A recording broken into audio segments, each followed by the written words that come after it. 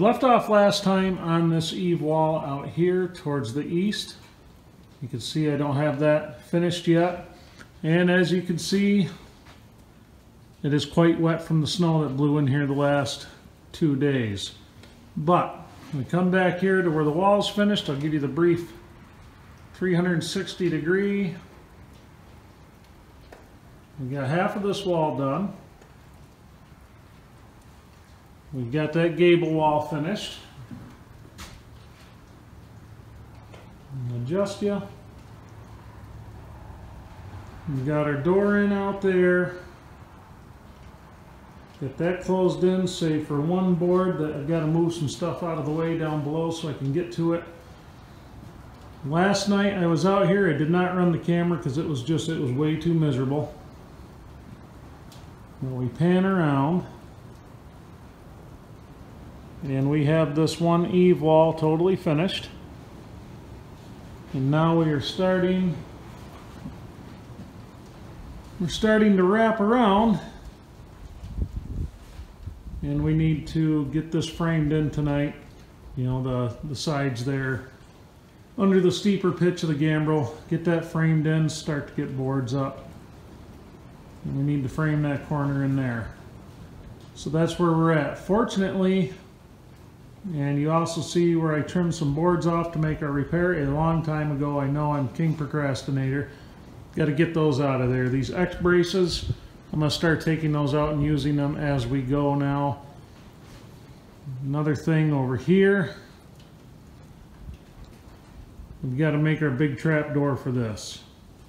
So that shouldn't be too bad.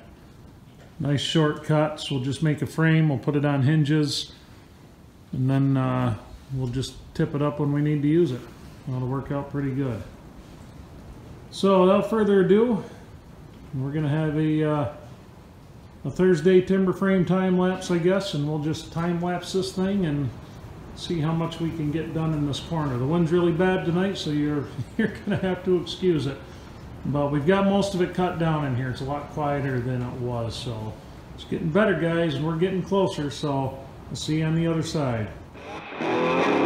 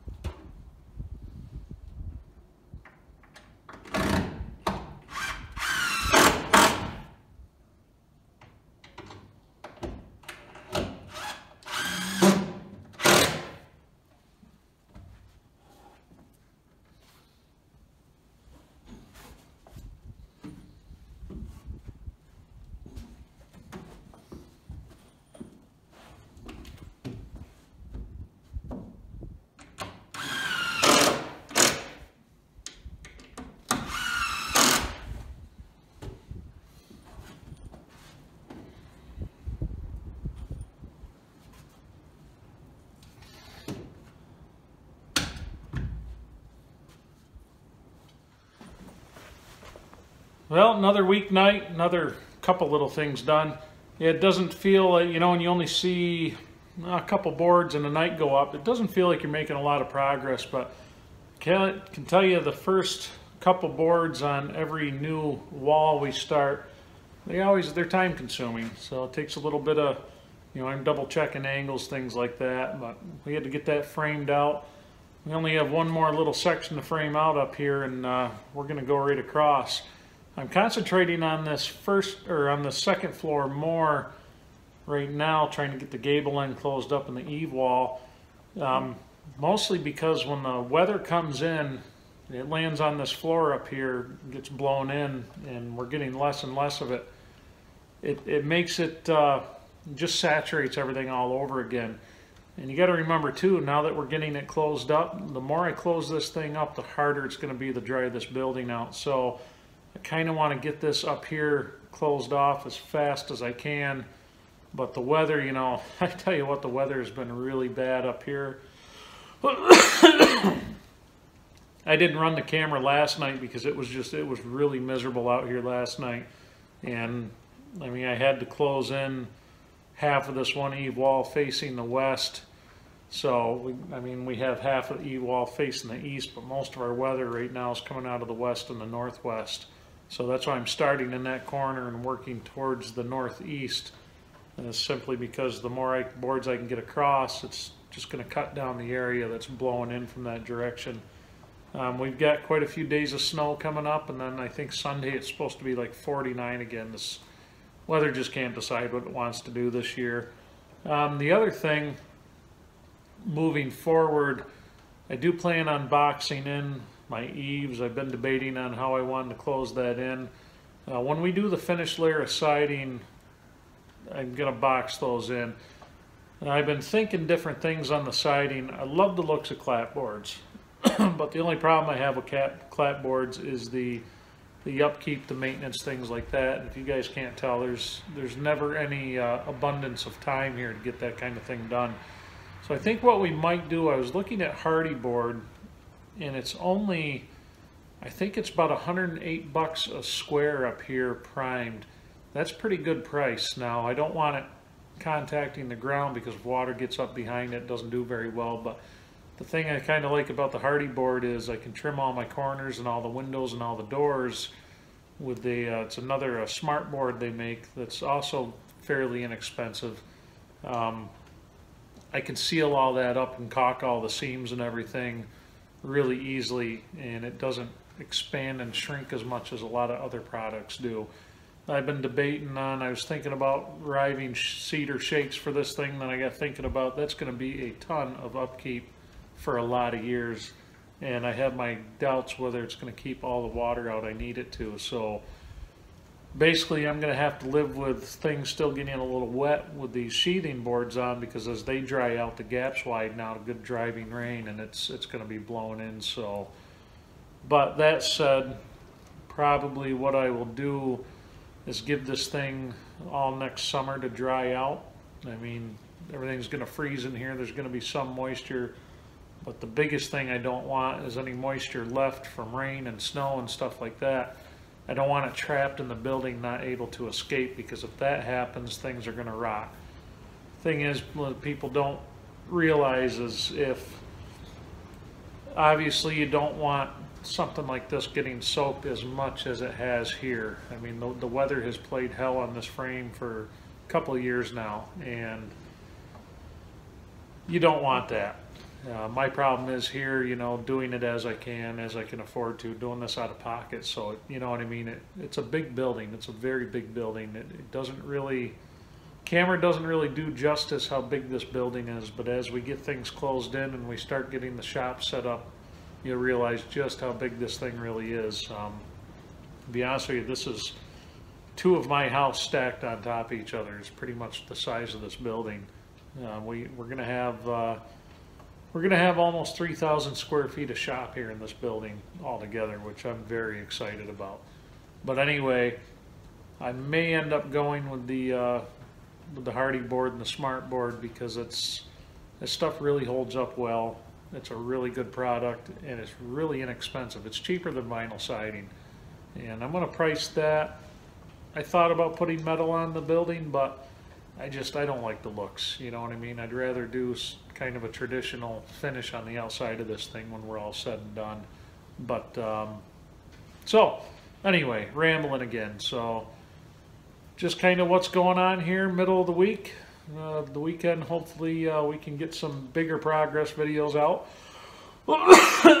Apologize for not running the camera last night, but that was one of those things where I was kind of under the gun, had to get it done, and the weather was just breathing. I had, I had the snow melting off, running down my neck outside here in the heave wall. That was just no fun, but we got it done. That's all that matters. And when I came in here today, there wasn't much in here, and that that was good. That's a good feeling. So every board we put on cuts down on how much is blowing in. So anyway, have a good evening, everybody. I hope you enjoyed it, and I'll catch you on the next one.